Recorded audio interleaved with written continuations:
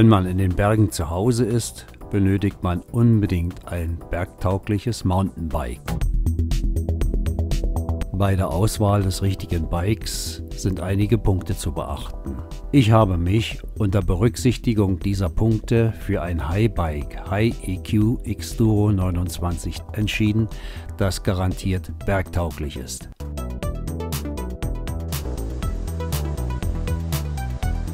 Die Bremsen besitzen extra große Bremsscheiben mit einem hydraulischen Bremssystem. Damit ist ein weiches Abbremsen möglich, aber auch ein hartes, scharfes Bremsen.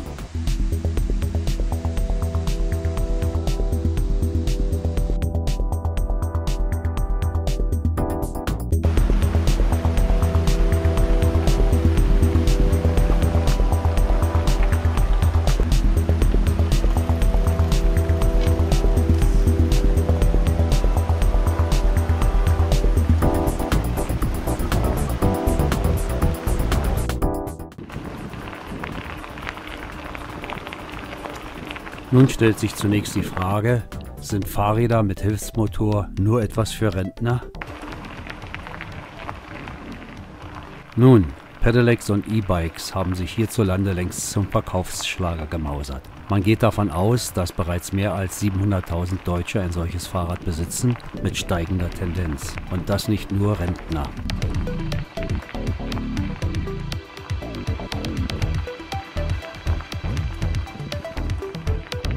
Besonders in den Bergen können nun Wege befahren werden, die sonst bestenfalls nur von gut durchtrainierten Mountainbikern oder von Wanderern benutzt werden.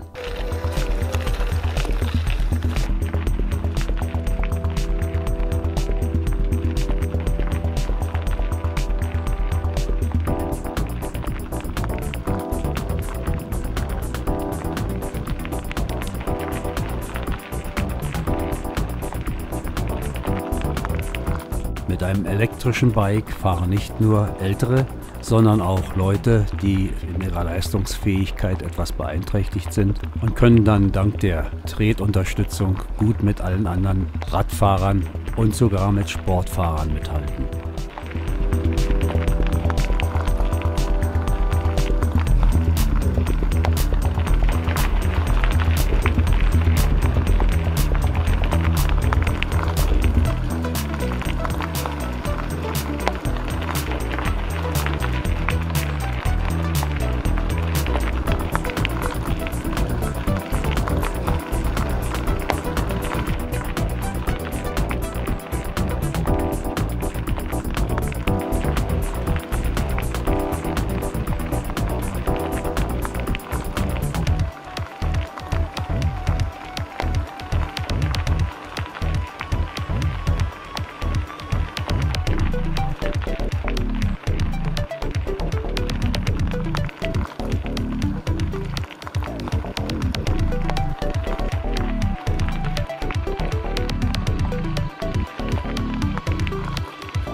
Aber ohne Treten oder Kurbelbewegung gibt der Motor keine Leistung ab. Man muss also schon selbst etwas dazu tun und das ist gut so.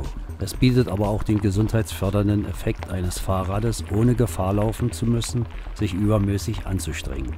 Ausgedehnte Fahrradtouren sind nun möglich und werden selbst bei Gegenwind oder Steigungen nicht zum Stressfaktor, sondern vermitteln reinen Fahrspaß.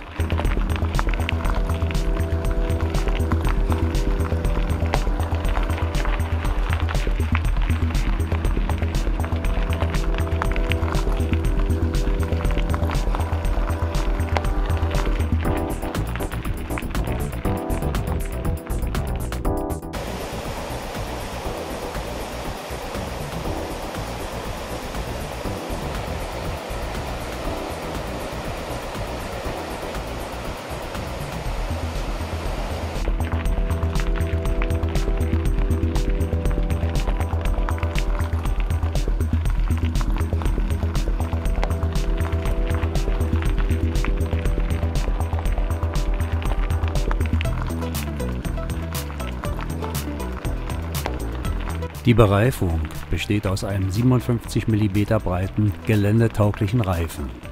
Im Übrigen sind diese Reifen tubeless, das heißt ohne Schlauch, genau wie bei einem Auto. Außerdem rollen sie auch etwas leichter ab. Warum das so ist, dafür hat die Wissenschaft eine Erklärung, die ich hier nicht weiter erläutern möchte.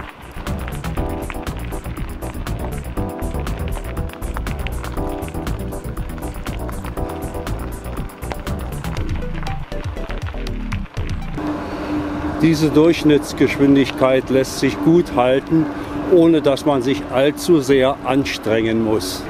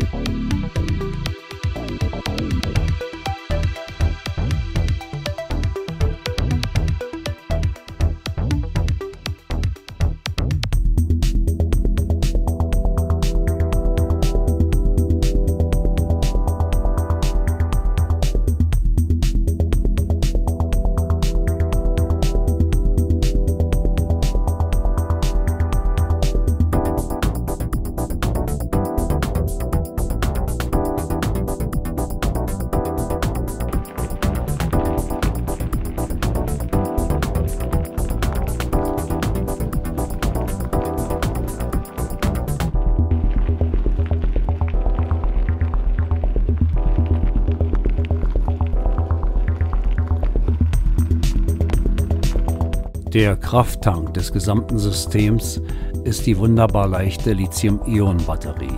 Sie wiegt nur 2,4 Kilogramm. Die Kapazität beträgt 288 Wattstunden bei 8 Ampere und 36 Volt. Die Lebenserwartung beträgt etwa 1000 Ladezyklen.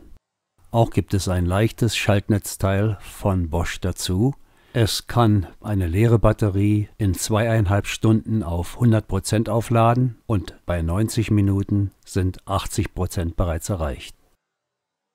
Nun stellt sich natürlich die Frage, wie lange hält die Batterie und wie viele Kilometer kann man fahren. Hierzu kann man von den Herstellern keine genauen Angaben bekommen. Aber es gibt Erfahrungswerte. Zum Beispiel in der Eco-Stufe mit der kleinsten Leistungszugabe ist eine Reichweite bis zu 130 Kilometern möglich. Gut, die fährt man natürlich nicht. Ich fahre zum Beispiel in der Stellung Tour auf 3 und kann, wenn alles vollgeladen ist, damit etwa 70 Kilometer fahren.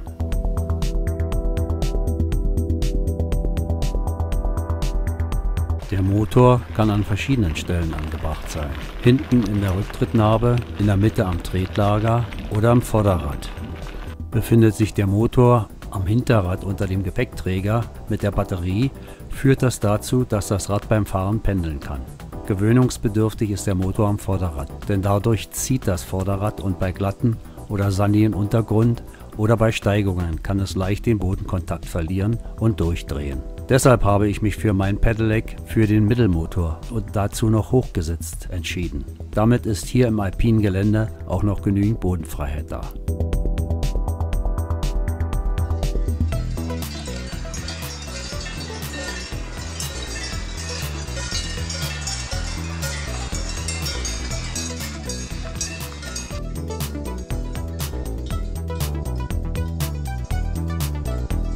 Ein gutes Pedelec ist leicht und lässt sich genauso gut auch ohne Motor fahren wie ein entsprechendes Fahrrad ohne Elektroantrieb. Wobei zu bedenken ist, dass ein billiges E-Bike bis zu 30 Kilo wiegen kann, die auch bewegt werden müssen. Mein Bike wiegt 19,8 Kilo inklusive Akku.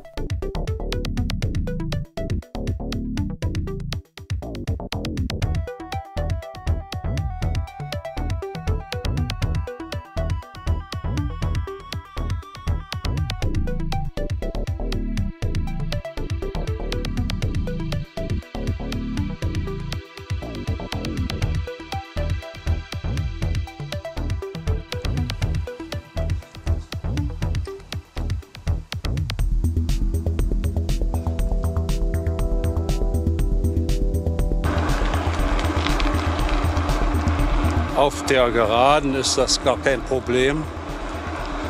Mit 25, 26, 27 zu fahren. Hier geht es ganz leicht bergauf.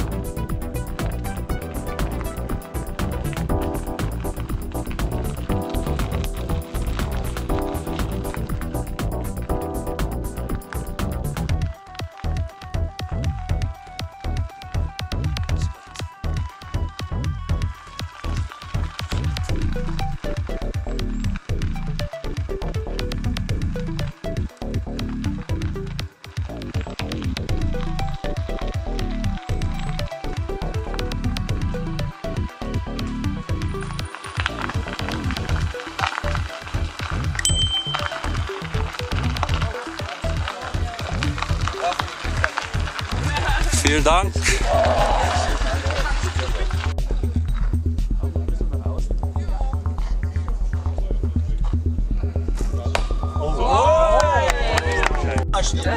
So, sind wir durch? Ja, ich befürchte es.